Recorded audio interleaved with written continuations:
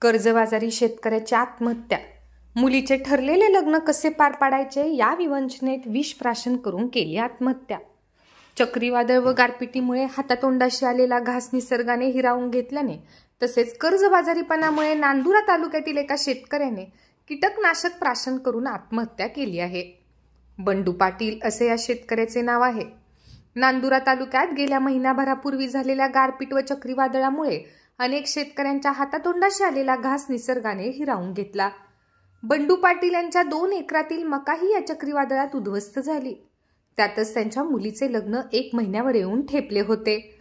मुलीचे लग्न आता कसे पार पाडायचे व बँकेचे कर्ज कसे फेडायचे या विवंचनेत त्यांनी नऊ मार्चला शेतात विषारी औषध प्राशन केले. त्यानंतर त्यांच्यावर प्रथम नांदुरा येथील प्राथमिक आरोग्य केंद्रात व नंतर खामगाव येथे उपचार करण्यात आले. मात्र दुर्दैवाने पंधरा मार्चला त्यांची प्राणज्योत मालवली. त्यांच्यावर बँक ऑफ महाराष्ट्राचे एक लाख रुपयांचे कर्ज होते.